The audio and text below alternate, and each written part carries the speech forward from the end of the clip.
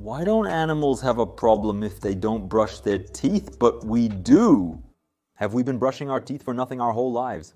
You guys are already tuned into this Iberê Answers. You know that this question is very good, so it will be left for the end of the video and the answer is very cool. Let's move on to another sensational question from Luis Favarato, a longtime member of the World Manual, as indicated by the seal from his cell. How do trains make turns given that the axles are fixed?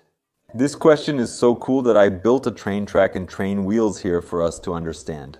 It's not as simple as putting the train on the track and adding a curve. It won't just work. I printed a small wheel similar to the trains, but not identical. The reason will become clear soon. I'm going to put it on the track that we built with the laser. And let's see how this little wheel makes the turns, okay? The track has many curves and a slight downhill slope, allowing the wheel to roll on its own. Let's observe what happens. The wheel simply can't make any turns, it stops, it locks up. You can see here that when things are a bit straighter, it goes. When it gets to the curve, the tendency of these wheels is to go straight and then it hits the curve. I don't know if you knew, but when a car turns, the wheel that is on the inside of the turn travels less than the wheel that is on the outside. Because look, in a curve, the wheel that is here is traveling a much shorter path than the wheel that is here. But if we were to look at the car's wheels at this moment, we would have the front wheels turned, but the train doesn't do that with the front wheel. How do we solve this? The solution is to change the shape of the wheel. The train uses a conical wheel which means that the inside of the wheel is larger than the outside. I made a very exaggerated conical wheel here for us to put on the rail and see if it can go down. Seems a bit crazy, right? But I'm gonna let it go, and if it goes down nicely, I think it's worth that thumbs up on the video already, huh? Especially because it's not every video where people explain building a train track, wheel on a 3D printer, and everything else. Sh shall we go?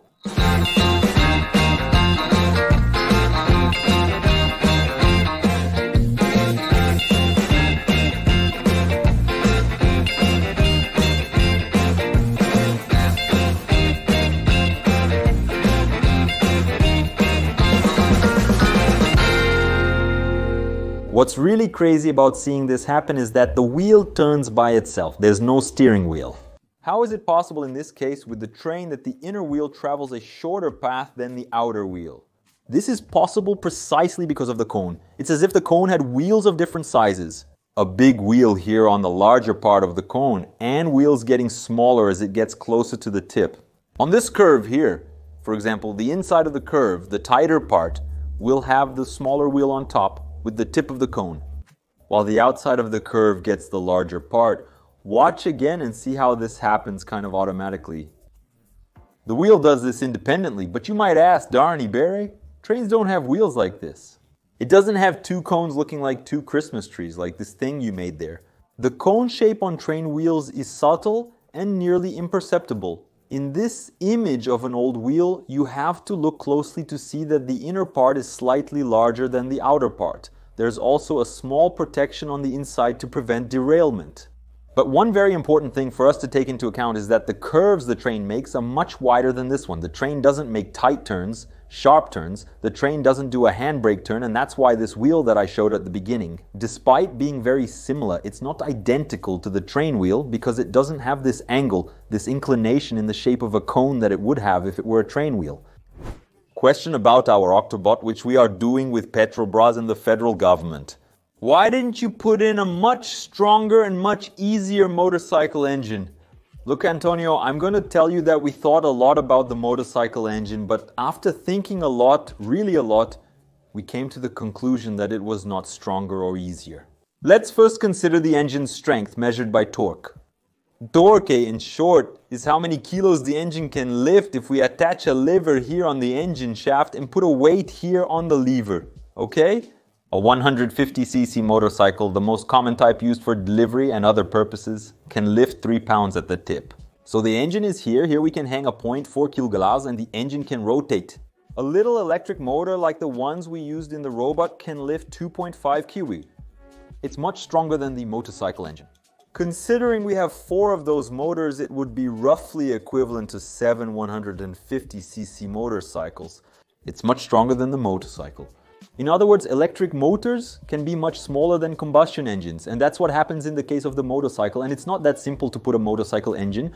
Think with me. In the submarine, we used one engine on each side because to make a turn, you just turn on or accelerate this engine and it turns this way. To make a turn to the other side, you accelerate this engine and it turns that way. You have a steering control just by turning the engine on and off. In our robot, it's the same thing. We have two sets of legs, the right and the left. To make a turn, we need the motor that is on the outside of the turn to walk a little more, accelerate a little more. This relates to the topic we discussed earlier regarding the car training. So I necessarily need to have at least two motors or use a clutch in the middle, but it wouldn't work. The ideal is to use two motors. Imagine me putting two motorcycle engines. I would need two accelerators, two clutches, two gear shifts, two of everything at the same time. It's nearly impossible to synchronize and control something like this. Ultimately, I believe what occurred is this movement we see from Theo Jansen. The robot's design is inefficient. It can't move smoothly like a wheel, causing the engine to work at maximum capacity. The structure is overly robust, likely due to the submarine mindset where everything had to be strong and sturdy. Weight is not an issue for submarines, but it is for the Spider robot since its legs constantly move up and down. They have to be light for the engine to handle, and we exaggerated the weight. So the solution we're looking for now is to reduce weight and not change the engines. So in the next video, if everything goes well, you'll see how we managed to take many pounds off that robot to make it walk. But I'm recording this video at a time when we couldn't take off that many pounds. Don't miss the next episode. We're going to build a giant spider robot.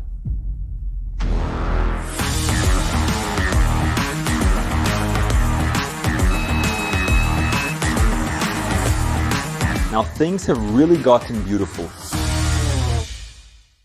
Because the new generations tend to be more fragile so that the previous generation ridicules them. It's true. We tend to call the newer generation now Nutella, snowflake.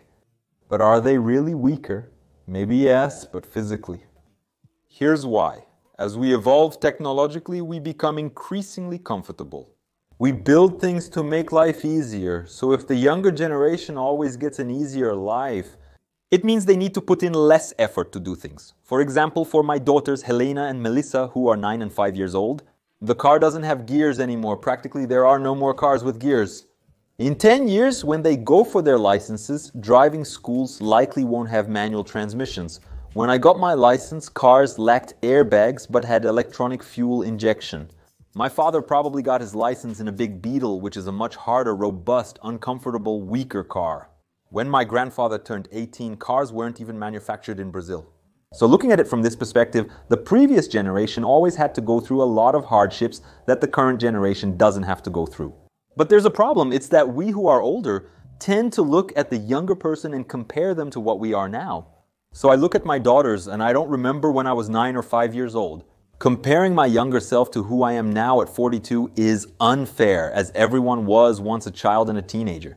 Did a lot of things wrong, did a lot of nonsense, and when we see the younger generation doing that, thinks that no, in my time it wasn't like this, that in my time it was different, and there are also some comparisons that are out of context. Many people complain that young adults, even those in their 30s, still live with their parents instead of moving out on their own. Then the grandpa will say no, because in my time, when I was 20, I was already financing my own house. Yeah, but when I was 20, the house cost 10 times less than it does today, so this comparison is not valid. In summary, we get older, more annoying, have a little bit of envy of the younger generations, and tend to compare a young person with an older person who had time to learn more. Ultimately, every generation finds ways to overcome life's challenges. Movie Rain serves a storytelling purpose. Is it because it's in the script, or sometimes is it because it's raining on the same day? Look, in the good movies that are successful, practically everything that happens, everything, everything, everything was thought out and controlled. If a person passes behind the actor when he's on the street, that person is a hired extra whose clothes were chosen for him to pass exactly at that moment, and the same thing happens with the rain. Because real rain, it's practically impossible to go out filming in it, okay? You'll get the equipment wet, there's no lodging, and there's a crowd of people around. The rain stops, returns, then the sun emerges before darkness falls. Anyway, all the weather things, if it's too sunny, if it's too rainy, you try to control as much as possible artificially. One of the most famous movies of all time is called Singing in the Rain. It's a musical that, in the middle of the musical, has a scene where Gene Kelly, who is a famous dancer and such, he dances with an umbrella spinning around poles and everything else. You must have seen a photo, this scene somewhere. This rain is totally artificial. He recorded with a fever at the time because he was sick. There are some legends that say they even mixed milk in the water for the drops to appear better in the video. Recording actual rain is challenging as the drops are not visible. Some claim the milk story is false but they had to put a very strong light behind the water drops that were being thrown there by some hose or something like that. And that's true. To be able to see a raindrop, you need to illuminate it very well. So, answering your question, rain appears in the film only when it's in the script and it's artificial rain. There will be some crazy person from experimental cinema saying that they filmed in the rain in a station that they wanted it to look like reality, but generally it's fake. Why do beached whales explode after a while? Oh, but I love these questions. The worst part is that they do explode. So much so that Wikipedia has an article just about whale explosions. What happens is that when the whale dies, it starts to decompose and this generates gases inside the whale and it starts to swell. Normally these gases are slowly released, but it can happen that the whale's thick skin with a lot of fat does not let it escape and the whale turns into a bladder that keeps inflating. And you know what people like to do when they see something inflated about to explode, right? Yes, most whale explosion accidents are caused by people who poke the whale that's about to explode. And as you might have imagined, when a whale explodes, the sight is not very pretty because the whale's guts all come out on the person who went there to poke the whale. But I couldn't go through a whale explosion without telling one of the most sensational stories I've ever seen in my life the rotten whale rain.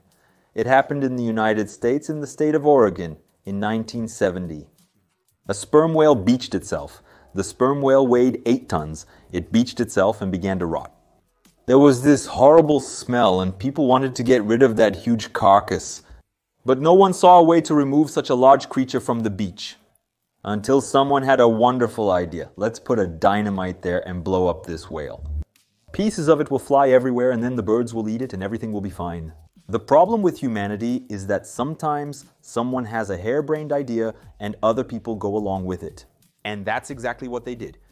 They put half a ton of dynamite right in the middle, right under the sperm whale. Then several people went to watch the whale explosion. They stayed at a safe distance a few hundred meters away. And when the bomb exploded, it's not me saying this, I'm going to read a report from a reporter who was there covering the whale explosion at the time. Suddenly, there was this 30 meter high geyser of blood, fat, and sand shooting up into the sky. It was like a snowstorm of fat with tiny particles of fat floating down after the large chunks. The few dozen spectators and reporters who had come to watch the explosion from what they thought was a safe distance about 400 meters away began to scream and run. But how do you escape from a stinky rain of fat? The detail is that it wasn't just rotten fat that was falling.